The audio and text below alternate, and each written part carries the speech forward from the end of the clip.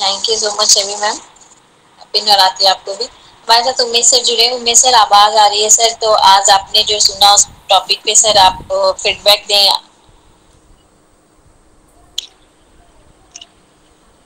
अच्छी बात है, ये सब तो मंच तो हमारा बढ़िया है, ये है।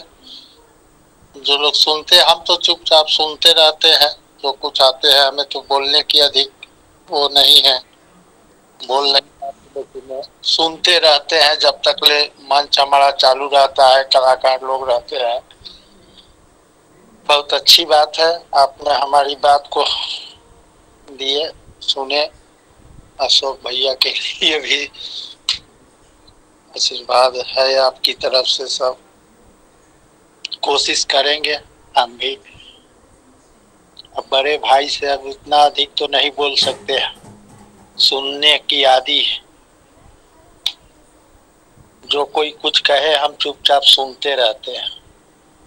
ठीक है बहुत बढ़िया प्रणाम।